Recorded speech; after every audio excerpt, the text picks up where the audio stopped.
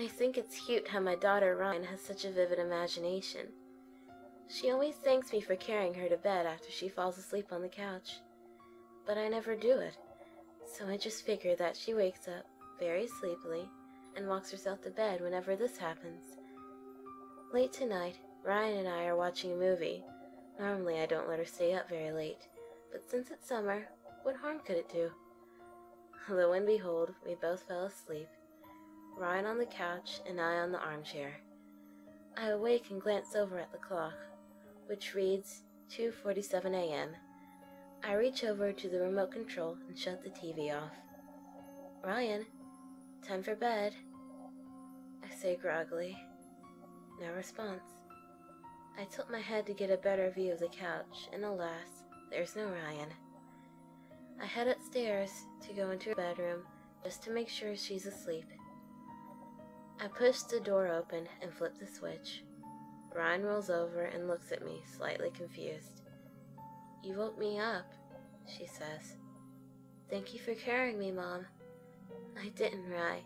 You woke yourself up and walked to your room, silly. No, I didn't. You carried me. I woke up when we were on the stairs and saw your arms underneath my legs. I froze. I know she had a stretched imagination, but this was too eerie for me. I tried to put some logic into the situation by labeling one of us as sleepwalkers. No big deal. Tomorrow, I'm going to buy a camera for the living room and see who the sleepwalker in this family is. Tomorrow comes, and I have just purchased a camera. I charge it all day so that I'm ready for nightfall. Once charged, the camera is placed on a side table so that there's a decent view of most of the living room and the archway that leads to the stairs. Perfect. Night comes, of course, and Ryan is sitting on the couch, ready to watch her favorite show, SpongeBob SquarePants. Have fun with your SpongeBob marathon, Ryan? Well, anyway, I'm going to bed. Okay, good night. Before I leave for my bedroom, I turn the camera on. The recording light is on, so that's my cue to head for bed. The morning light comes and floods my bedroom. Immediately, I think of the recording from last night, so I rush out of bed and head straight for the camera.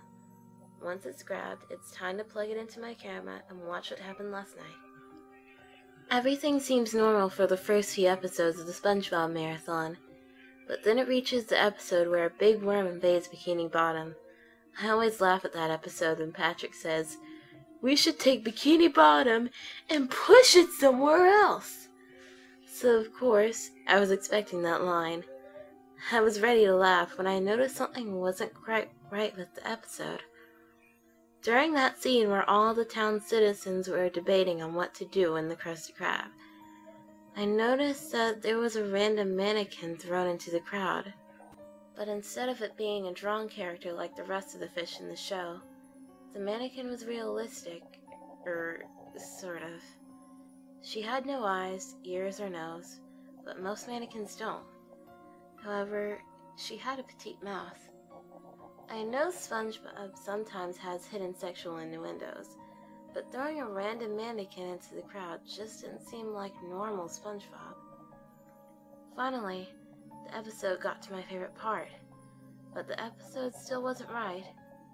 Patrick starts to say his line. We should take the mannequin and put it into Ryan's world, he says as he stares straight at the screen. I'm frightened. Did he really just say Ryan's name? As the episode continues, the fish of Bikini Bottom start to push the mannequin forward and into the screen. After a few strong pushes, the mannequin starts popping through the television. The mannequin makes a thunk as she hits the ground. She's stiff and still holding her mannequin-like pose. At this point, my eyes are wide with fear, but I just can't stop watching. The mannequin remains stiff on the ground for a few minutes, and my dear Ryan is sleeping on the couch, not aware of what just happened in front of her. Finally, there's movement. The mannequin is slowly moving her plastic arms to lift herself off the ground. When she's up, she walks towards sleeping Ryan. I see her give Ryan a slight smile, kind of like a mother seeing her baby. The mannequin picks up the child and carries her up to her bedroom. Rapidly, I think that the mannequin might still be in her bedroom, doing who knows what. A few minutes of the video passes, and the mannequin makes her way back downstairs and into the living room. Good. She's going back into the TV.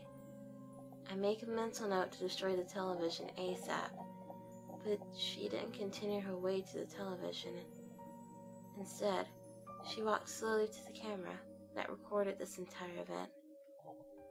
Finally, the mannequin's face is taking up the entire screen of the computer. She gives me that smile she gave Ryan, but it quickly changes. The smile becomes a terrifying view of several rows of teeth that are very sharp, almost like knives. Wait. Oh my god, she's leaping through the.